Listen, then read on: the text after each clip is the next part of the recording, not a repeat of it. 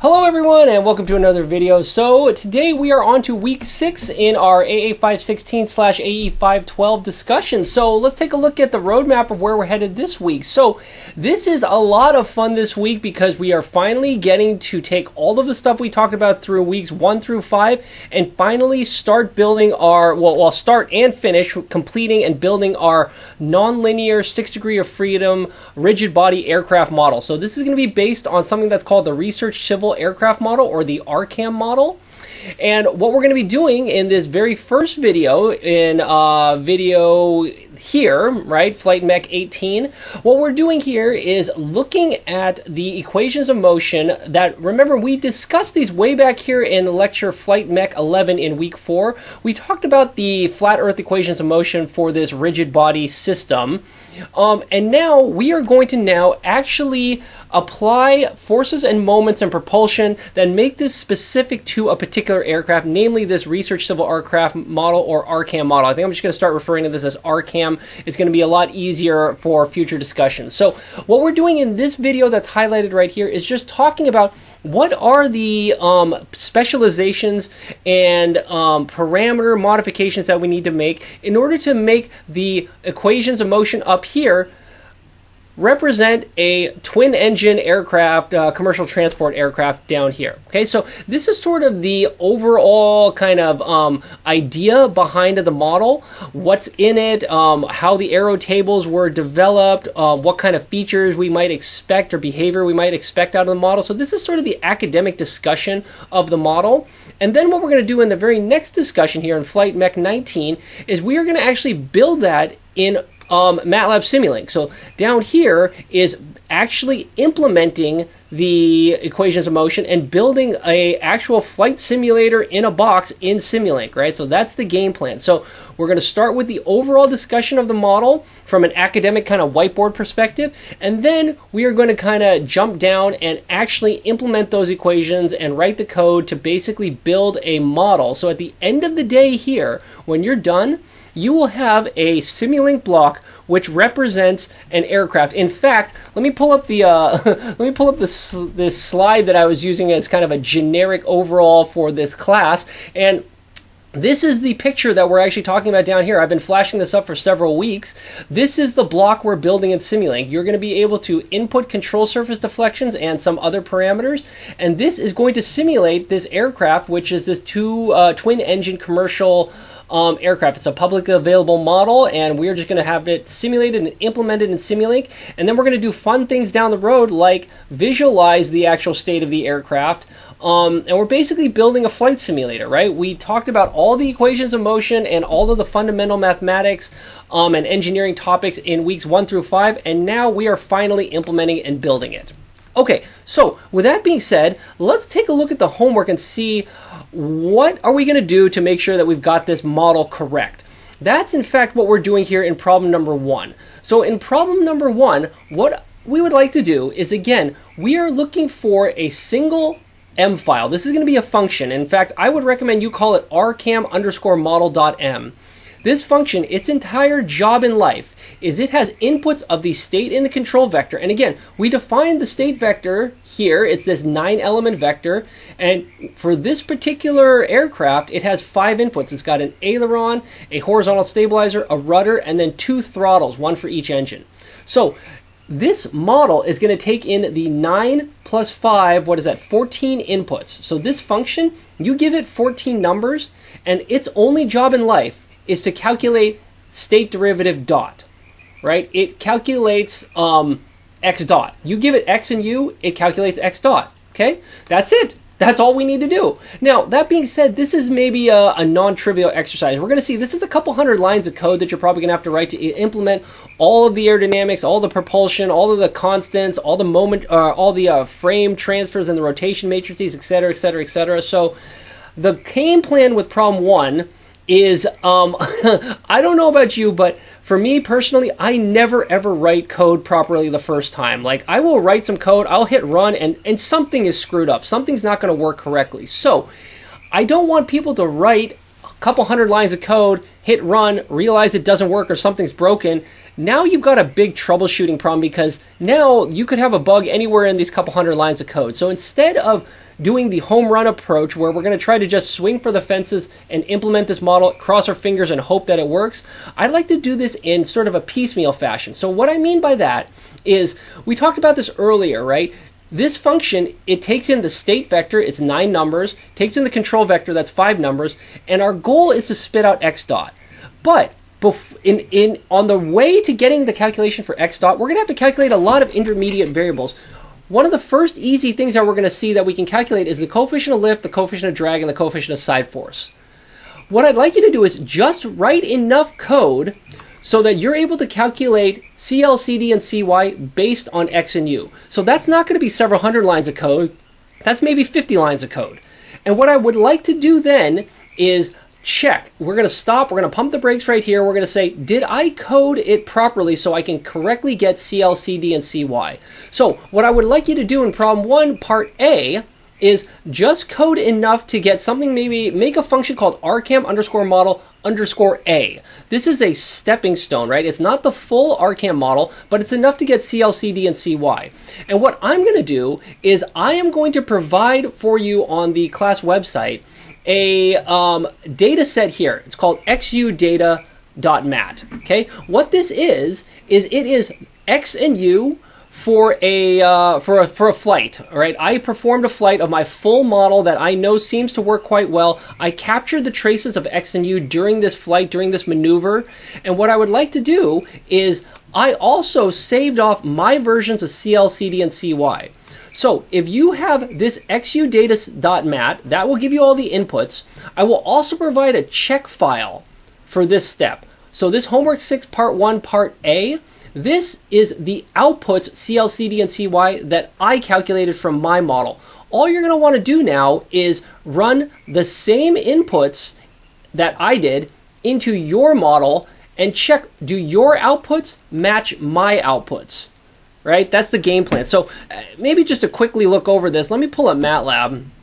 Okay, so for example, here's my RCAM model underscore A function. You're going to write something very similar. So I, I, it's probably no harm in just showing you what this is, but we're going to talk about all this in the video, right? You're going to do all of this code. You're going to do this code, blah, blah, blah, blah, blah, blah. You're going to do all this code. You're going to get down here to CL, CD, and CY right? That's all. It's only 115 lines, right? But we're not done, but we're going to stop right now, and I want to check, did I calculate CLCD and CY properly?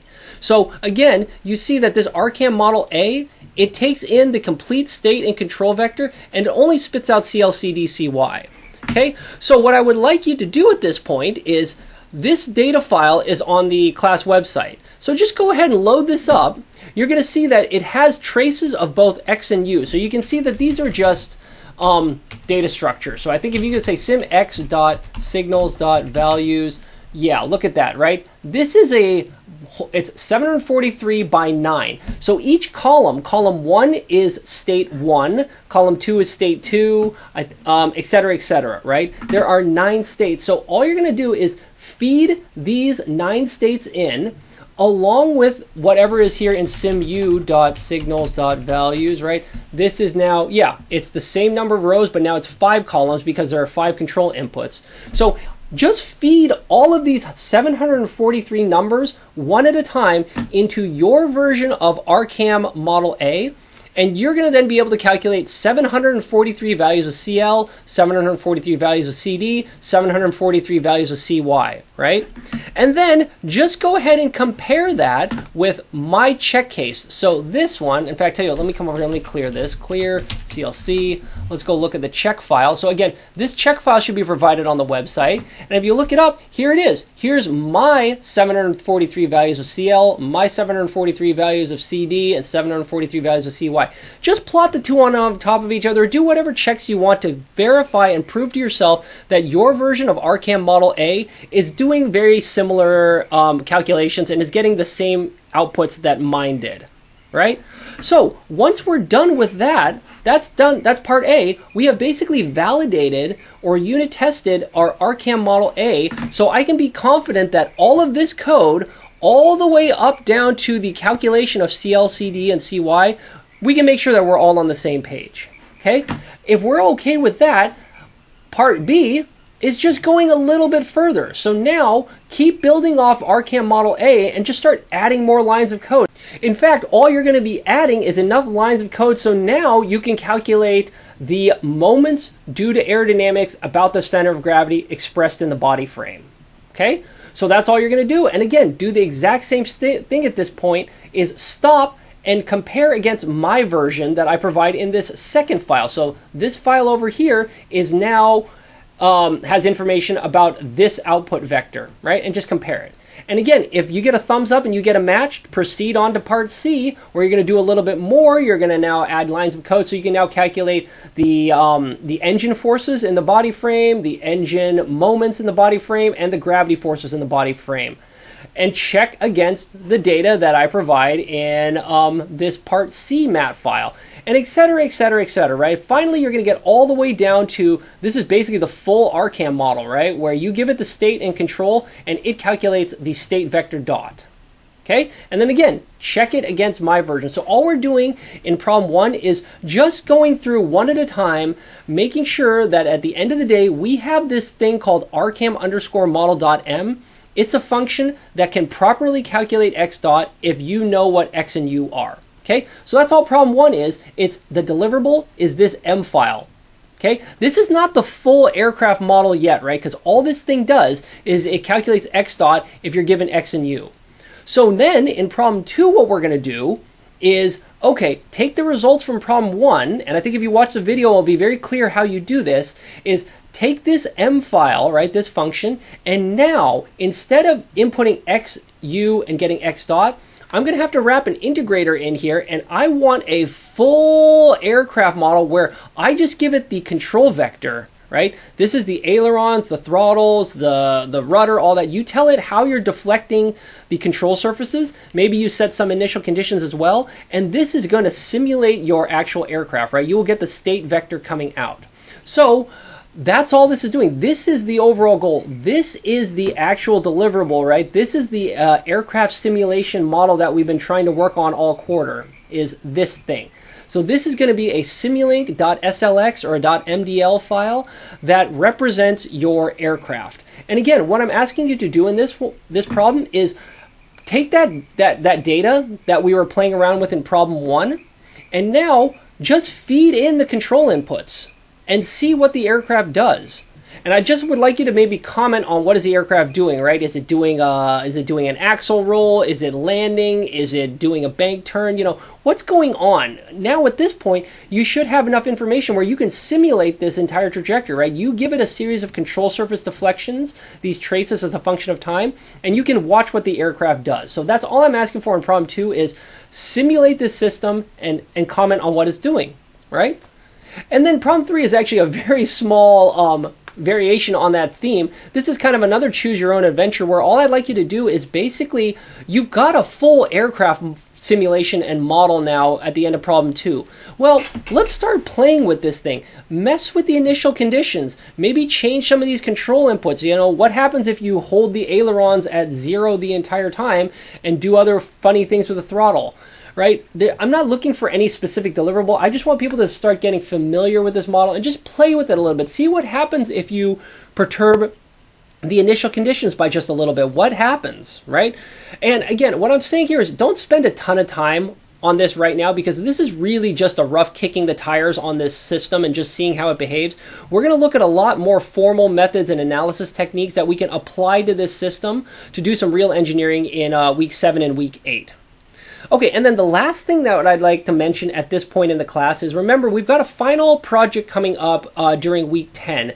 And one of the things that we're going to want to be able to do, or, or you might want to be able to do, maybe that's a better way to put this, is the control inputs here it might be fun if you could actually have a joystick, right? You you can now fly the vehicle instead of you know reading in a data set and then playing it back through here. Maybe in real time you want this U vector to be generated via a human interface device like a joystick. So um, if that sounds fun to you, you might want to think about getting your hands on a joystick now because we probably only have a few more weeks before we are going to need to actually start playing with this. So, given the state of shipping and uh, procurement, maybe if you think this sounds fun, maybe go on the internet, see if you can find. We know that these three types of joysticks, I've seen proof of feasibility of these working with um, MATLAB Simulink in the past. To be honest, I've seen a lot of other ones work as well, but I know for certain that these three do. So if you're interested in procuring or obtaining a joystick, here's three suggestions. Um, but if not, uh, you know, if you've got an Xbox controller lying around, let me know. I've seen people actually successfully get that to work and fly their simulator. But all problem four is it's really optional. It's just let's start thinking about the final project. And if you think it would be fun to use a joystick, here are three that you might want to think about putting on order right now so they show up in time for actually doing um, being of use to, in the final project. So that's the game plan. I'm really excited for this week because we're finally building this aircraft model. I really want to make sure that we all have a model here that we are comfortable with um, and we all are confident that it's producing similar results because we're going to build on this. So this is one of these places where I don't want anyone to go off the rails or deviate right now because we are going to be building all sorts of things. We're going to be doing trim, we're going to be doing linearization, we're going to be doing a lot of other analysis based on this. And if you've got a little bit of an error or a little problem right now, this is just going to make your life more difficult than it needs to be in the coming weeks. So let's make sure that we're all comfortable with this model, and um, I think we're we're setting ourselves up for success. So, with that being said, I think this is probably a great spot to leave it. Um, I hope you enjoyed it. If you've got any questions, shoot me an email. Otherwise, um, yeah, I'll look forward to talking with people during office hours, and uh, this will be this will be fun. So, I will catch everyone next week. Bye.